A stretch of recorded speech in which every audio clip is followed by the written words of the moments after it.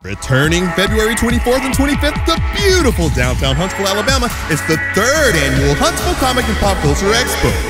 Taking place at the VBC North Hall, we welcome Hercules himself, Kevin Sorbo, the original Red Power Ranger, Austin St. John, along with the second Black Power Ranger and critically acclaimed voice actor, Johnny Yong Bosch, who has lended his voice to several anime shows and films such as Bleach, Trigun, Blue Exorcist, and Akira, to name a few. Are you looking for comic creators? Well, you're in luck.